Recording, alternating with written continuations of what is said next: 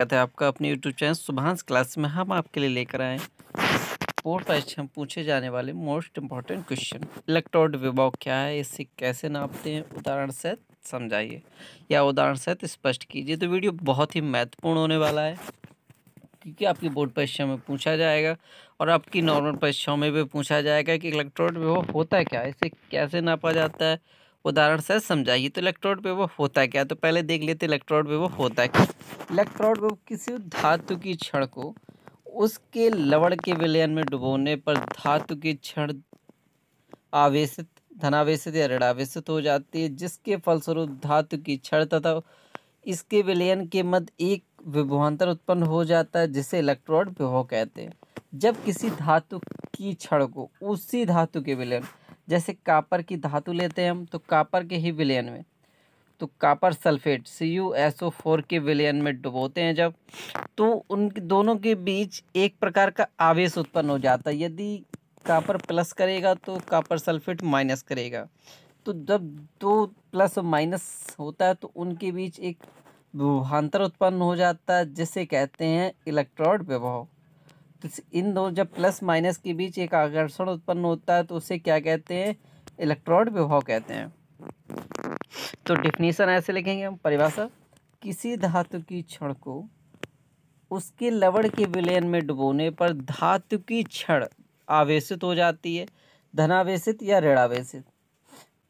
यदि धन होगा तो विलयन ऋणावेशित हो जाएगा, विलयन ऋणावेशित है तो क्षण धनावेशित हो जाएगी। तो उन दोनों के बीच धनावेश या ऋणावेश हो जाती है, जिसके फलस्वरूप धातु की क्षण तथा इसके विलयन के मध्य एक विभांतर उत्पन्न हो जाता है। जब प्लस माइनस होगा तो उसके बीच ज़रूर एक विभांतर उत्पन्न होगा, क्योंकि प्लस और माइनस अपने आप को एक दूसरे को आकर्षित करेंगे तो आकर्षित करेंगे, उनके बीच एक विभांतर उत्पन्न हो जाएगा, जिससे इलेक्ट्रॉड विभव कहते हैं। क्या कहते हैं इलेक्ट्रॉड विभव कहते हैं? उदाहरण देख लीजिए। जब कापर की क्षण को कापर सल्फेट के विलयन में डुबोने पर विलयन में उपस्थित copper ion C U plus copper क्षण से इलेक्ट्रॉन ग्रहण करके कापर परमाणु बनाते हैं, जो कापर क्षण पर एकत्रित हो जाते हैं। इस प्रकार कापर की क्षण पर धनावेश सी यू प्लस जब इलेक्ट्रॉन देता है तो क्या होता है? धनावेश उत्पन्न हो जाता है तो सी यू प्लस तथा विलयन में ऋणावेश एसओ टू माइनस के कारण उत्पन्न हो जाता है। इसके फलस्वरूप इनके मध्य विभव उत्पन्न होता है, जिसे इलेक्ट्रोड विभव कहते हैं। देख लीजिए C U C U plus और दो इलेक्ट्रॉन त्याग देगा। दो इलेक्ट्रॉन त्याग देगा तो सी यू प्लस टू बना लेगा और दो इलेक्ट्रॉन त्याग देगा। इसी का कापर सल्फेट के विलयन में C U plus S O four minus two electron निकल जाएँगे। तो कापर सल्फेट का विलयन कापर क्षण पर एकत्रित होता है, विलयन में एकत्रित होता है। इसके बाद इसका मापन कैसे होता है? मोस्ट इंपॉर्टेंट है, इसका मापन कैसे होता है? यानी इलेक्ट्रॉन विभव का मापन कैसे होता है? तो वीडियो को पूरा देखिएगा, यदि पसंद आए तो चैनल को सब्सक्राइब कर दीजिएगा, बेल आइकन को ऑन कर दीजिएगा। तो इलेक्ट्रोड विभव का मापन कैसे करते हैं? एक स्वतंत्र इलेक्ट्रोड की विभव का प्रत्यक्ष मापन करना संभव नहीं है। एक स्वतंत्र इलेक्ट्रोड की विभव का मापन करना संभव नहीं है, परंतु दो इलेक्ट्रोडों के मत का विभवांतर सही ढंग से मापा जा सकता है। तो एक इलेक्ट्रोड के विभव का मापन संभव नहीं है। यानी आप हम किसी एक इलेक्ट्रोड का मापन कर रहे हैं तो उसका मापन करना संभव नहीं है, जबकि दो इलेक्ट्रोड विभव का विभवांतर नाप सकते हैं हम? क्या कर सकते हैं? दो इलेक्ट्रोड विभव उनका विभवान्तर नाप सकते हैं, लेकिन एक इलेक्ट्रोड विभव को नहीं माप सकते हम।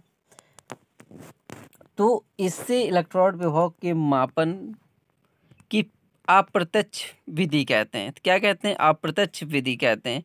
इस विधि में धातु इलेक्ट्रोड जिसका विभव ज्ञात करना है, को ज्ञात विभव वाले इलेक्ट्रोड के साथ जोड़ दिया जाता है। इस इस ज्ञात विभव वाले इलेक्ट्रोड को संदर्भ इलेक्ट्रोड, मानक हाइड्रोजन इलेक्ट्रोड।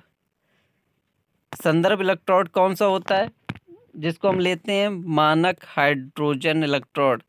कहते हैं धातु इलेक्ट्रोड तथा संदर्भ इलेक्ट्रोड को जोड़कर एक सेल बनाते हैं तथा परिणामी सेल का विभव प्रयोगों द्वारा ज्ञात कर लेते हैं। संदर्भ इलेक्ट्रोड का विभव हमें पहले से ही ज्ञात होता है। अतः इन दोनों विभव मानों की सहायता से धातु के इलेक्ट्रोड विभव की गणना कर लेते हैं। जैसे उदाहरण देख लीजिए।